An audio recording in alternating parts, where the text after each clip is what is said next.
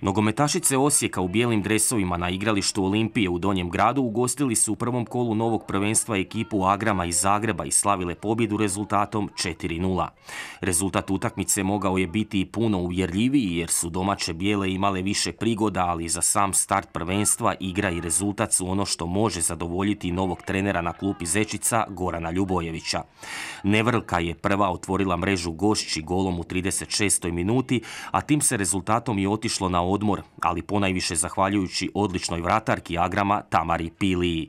U nastavku susreta još veća dominacija Osijeka, a golove su postigli još Lojna, Živković i Bulut. Do kraja utakmice oba su trenera iskoristila mogućnost svih izmjena, tako da su i za Osijek zaigrale neke posve mlade snage.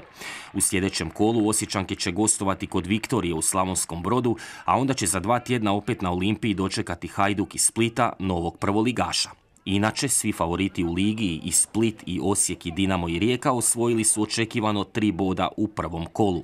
Vjerujemo kako će prvenstvo za žene kao i muški HNL biti do sada nikad zanimljivije.